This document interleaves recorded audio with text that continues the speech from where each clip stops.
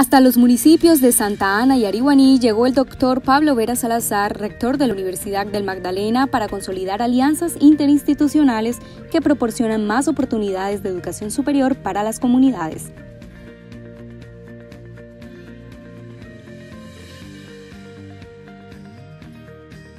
Ustedes no están hoy en la universidad todavía, pero ya son parte de nosotros.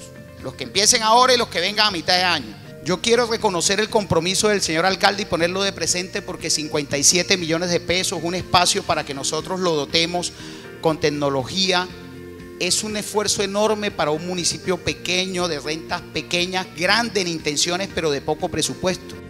En Santa Ana se inauguró la sede digital Bloque 10 para facilitar la conectividad de los estudiantes de la Alma Mater que residen en el municipio. De la misma forma, se adicionaron incentivos del programa Talento Magdalena para que 30 jóvenes accedan a la universidad. Firmamos la transformación de nuestro municipio. ¿Por qué? Porque vamos a llegar a muchos hogares y a muchas familias de bajos recursos para brindarle educación desde aquí, desde este bloque que hoy se, eh, se inauguró. Y tenemos muchas expectativas, siempre lo dije, es un mensaje de esperanza hacia nuestros estudiantes, hacia nuestra población que es una gran oportunidad para nosotros, que debemos aprovecharla y los que vienen atrás, que se esfuercen, que esto no es fácil, pero es un gran paso para nosotros para poder llegar a ser profesional. Por su parte, el convenio firmado en Arihuaní otorga becas para educación gratuita e impulsa las sedes digitales.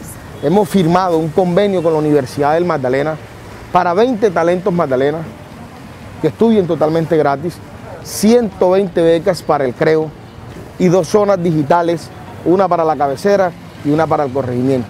La universidad, junto con el convenio con la alcaldía, eh, me, facilitaron eh, ese gran salto, por decirlo así, eh, que es, una gran, es un gran paso en, en mi vida.